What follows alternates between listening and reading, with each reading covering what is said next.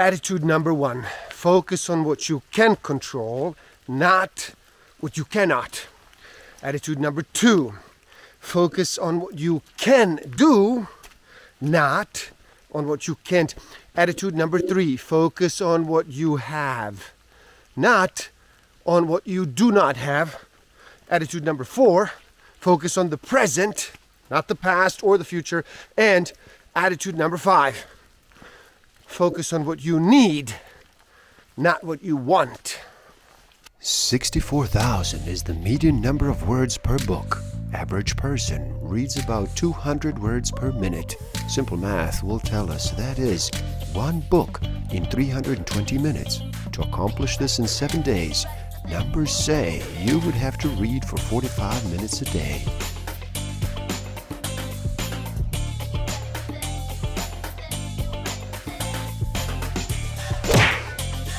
Forget to subscribe, hit that notification button, like, comment, and share. Enjoy.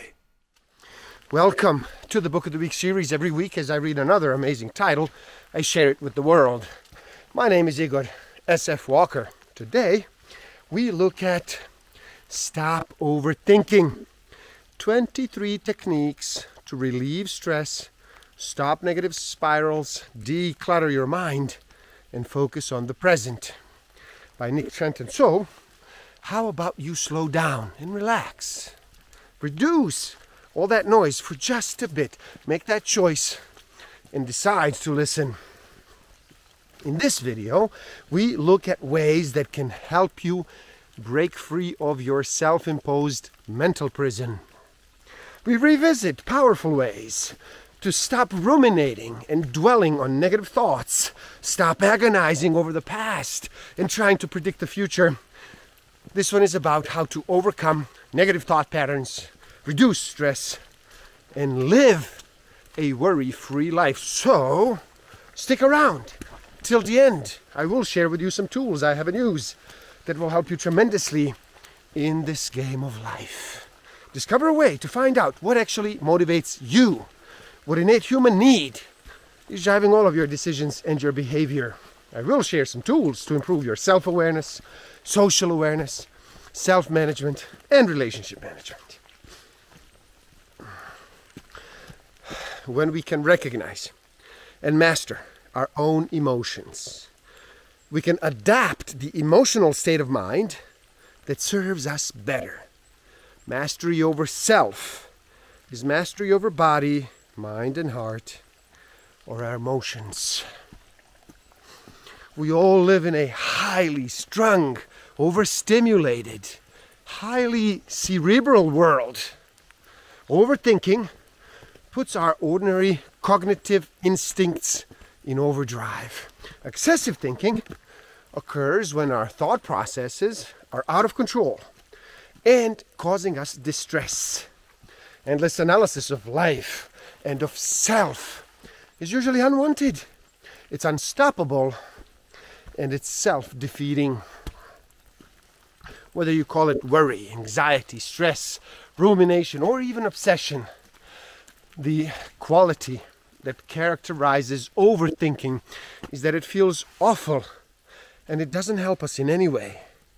Classic overthinking over amplifies itself or goes round in circles forever, and thoughts seem intrusive.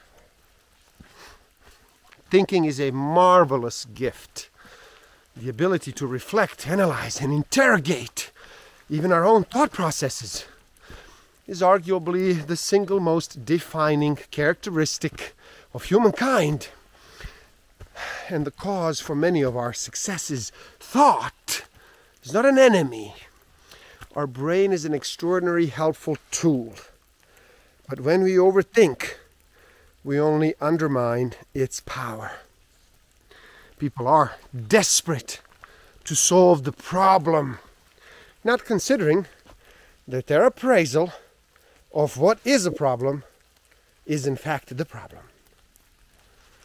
Simply trying to suppress your thoughts when they are running wild often results in the opposite outcome. You start thinking even more about the thing you were worried about. It is not the load, but how you carry it. Whether you feel an event as stressful and overwhelming comes down to how do you interpret and understand that event as well as how you actively engage with it, i.e., what choices you make. Two people can have vastly different appraisals of the same scenario. It is the appraisal that causes their experience, not the scenario. Some appraisals of life simply lead to more stressful outcomes. When you do perceive a threat, your HPA axis, hypothalamus, pituitary, and adrenals, are actually stimulated. It's stimulated. Your brain triggers a cascade of neurotransmitters and hormones in the body, which then have physical effects. This is the classic freeze, flee, or fight response to prepare the body to survive the perceived threat. This is, there's very spontaneity, humor, or irreverence when someone's mind is too busy catastrophizing, right? As you can imagine, the physical, mental, and environmental aspects all interact to create one unified experience of overthinking and anxiety. Overthinking is not a natural state, and it is not necessary. It is a destructive behavior that we can actively choose to stop if we want to. Stress is a fact of life, but overthinking is optional. What exactly is overthinking? Overthinking is when you excessively analyze, evaluate, ruminate, and worry about certain things to a point that it starts affecting your mental health because you simply cannot stop. We've also seen that the key to taking charge is to change our mental models and the way we think about the world. We need to de stress. Now, for overthinkers, the ordinary de stressing advice is usually not enough. In some cases, it makes things worse. Instead, we need to gain conscious awareness of our thought process, then be proactive about stress management and learn real techniques to ground and focus our thoughts. Our main goal in de stressing is to pinpoint exactly what is going on in our heads when we overthink. All you need to remember is four simple techniques avoid, alter, accept, and adapt. It can be a comfort in itself to know that really there are only these four possible ways to respond to any life stress avoid, alter, accept, and adapt. You're not helpless in the face of stress. You have tools at your disposal to use these tools. All it takes is a little awareness. If we can pull our conscious awareness back into the present, we can halt some of this overthinking. And then we can do this by checking in with the five senses. To put it another way, the brain can carry you all over the place, but the body and its senses is only ever one place the present, the here and the now. With panic, however, we can be sitting in a perfect place, in a sunny garden somewhere, and nevertheless feel like we are going to die. Such is the power of the mind. Think of it this way your conscious being can only do one thing at a time either having thoughts or being immersed in the moment where the senses It is one or the other.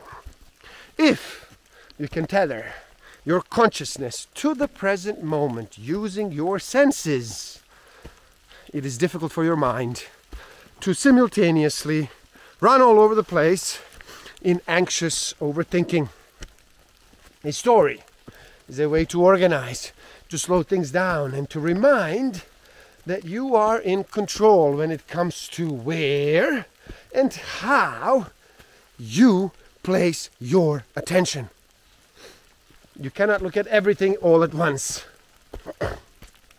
Trying to do so often makes you feel powerless and small in the face of overwhelming thoughts. But, as in any good story, you don't have to figure everything out immediately or solve every problem all at one time. The five, five, four, three, two, one technique. This is highly effective at stemming panic attacks, and it does so by involving all five of our senses. So, whenever you feel panic overcoming you, look for five things around you that you can see, four things that you can touch, three things that you can smell, two that you can actually hear, and one that you can taste. Engaging your senses distracts your brain from overthinking. There's no point talking about time management without knowing what your goals and your priorities are. Good time management depends entirely on the outcomes you are aiming for, and so you need to know what you value first. With your values in mind, you can then start to decide what is important and what isn't, i.e., you can rank activities and tasks busy people can sometimes act against themselves. They're so flustered that they actually put off important tasks, which then become critical tasks, which then cause them far more stress than if they had dealt with them swiftly the moment they did first appear. Here's an example of a fairly poor goal. I want to become healthier very poor goal setting. Here's the same goal, written to satisfy each of the SMRT SMART criteria. I want to eat at least five servings of different fruit and vegetables daily, i.e., each serving is 80 grams. In the effort to have a better diet in general, and I want to maintain this every day for the remainder of the month. Here, the goal is specific. S, specific. It is five different fruit and veggies a day. It is M, measurable. We can track 80 grams. It is A, attainable. It is not very unrealistic. It is R, relevant. It makes sense for the broader goal of a better diet. And it is T, time bound. Both in short term, since it's daily, but also in the long term as well, since it's going to go on until the end of the month. So, smart.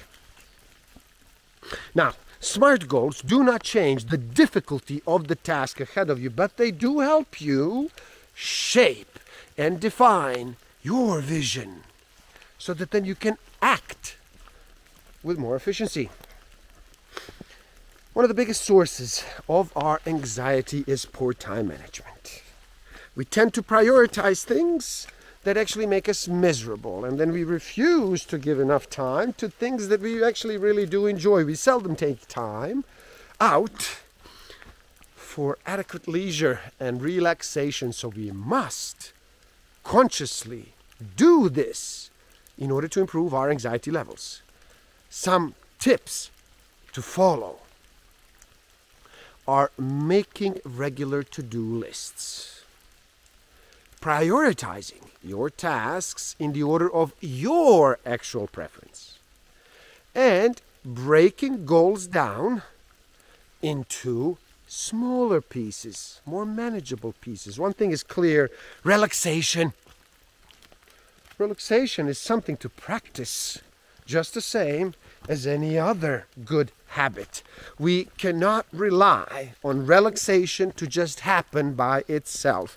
And there is no reason to reserve these techniques for situations that are already gone south. Rather, we can do them anytime. When you relax, your heart rate, your breathing, your blood pressure drops, your digestion, your blood sugar levels improve. You moderate stress hormones in the body. You reduce fatigue. You reduce muscle pain. You increase concentration. You increase good sleep. You increase confidence. All this spells less anxiety and rumination. So help yourself.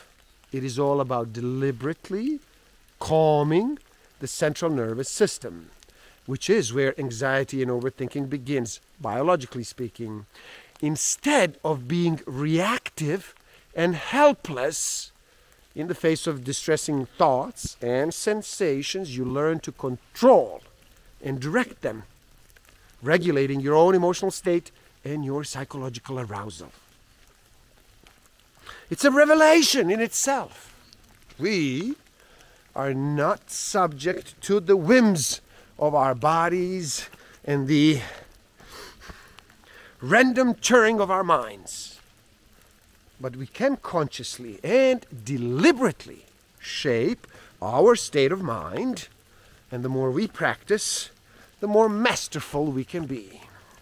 In meditation, we cultivate awareness and then we come into the moment. With guided imagery and visualization, we also do the same. But once we have detached from the stressful thoughts, we then direct our awareness to a target of our choosing. Meditation and visualization can work beautifully together. They do work beautifully together. Genuine stress management, taking charge of our mental models and attitudes, building more relaxation into life, and being proactive with how we use our time are all foolproof ways of getting a handle on anxious overthinking. Now we can turn to the thoughts themselves. CBT, cognitive behavioral therapy techniques, will not help if we do not have an adequate grasp on the ideas covered. More stuff comes before.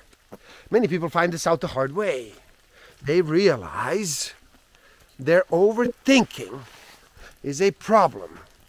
So they tackle the issue on the mental and cognitive level. They actually ignore their excessive caffeine intake, their hectic lifestyle, their unresolved traumas, and their chronic habit of undersleeping with the best intentions in the world.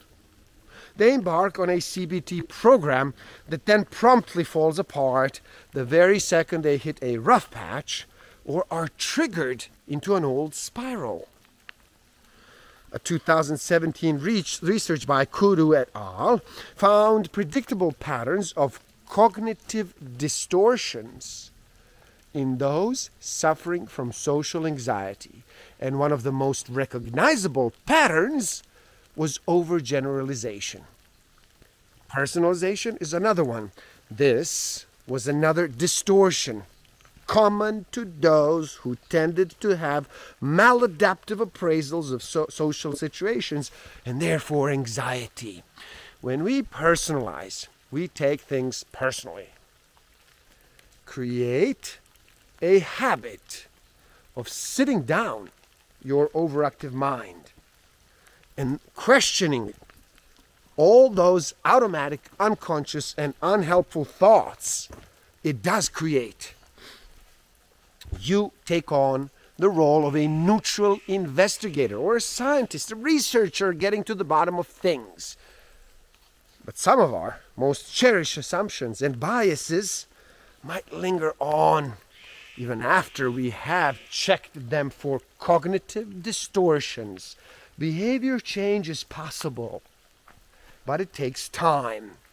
And it usually works best when you take the global view, i.e., not only consider the architecture surrounding your behavior, but also the thoughts that actually support that behavior. Clarify the belief. State clearly what your thought is and then write it down. Write it down as well as the associated emotions and its intensity. Create a hypothesis which contains a potential alternative. Create an experiment to test this hypothesis. What would you need to do to genuinely put this belief to the test? Run the experiment as open mindedly as you possibly can, and then write down your observations. Analyze these results. What conclusions can you make? And finally, make adjustments to this belief. And when you are unsure, come back to your experiment. This is important. Emotional regulation begins with emotional acceptance we do not become better at working with our emotions by learning to push them away, but by learning their names and becoming well acquainted with them. And there you have it. Stop overthinking 23 techniques to relieve stress. Stop negative spirals, declutter your mind, and focus on the present. By Nick Trenton. Please do help out. It is easy. Simply like this video, like this video. This is cool stuff. If you have enjoyed this, and if you believe that this is cool information, please do like it. Share it. Share it too. Spread the word. Leave a comment and share your thoughts. Start a conversation. Tell me what you think about all this stuff. Which of these techniques are you practicing in your own life? Subscribe to my channel, stay up to date. You know how to do this, where to click, what notifications to turn on. The link to this book is in the description below. Buy it, read, never stop learning, especially learning about yourself and nature. So gift yourself by taking the free human needs test on my website and find out what actually motivates you, what innate human need is driving all of your decisions and your behavior. And if you feel you are ready to improve your self awareness, social awareness, self management, and relationship management even further, then do check out my Master of Life Awareness program. The links are in the description below. Thank you. Love and respect.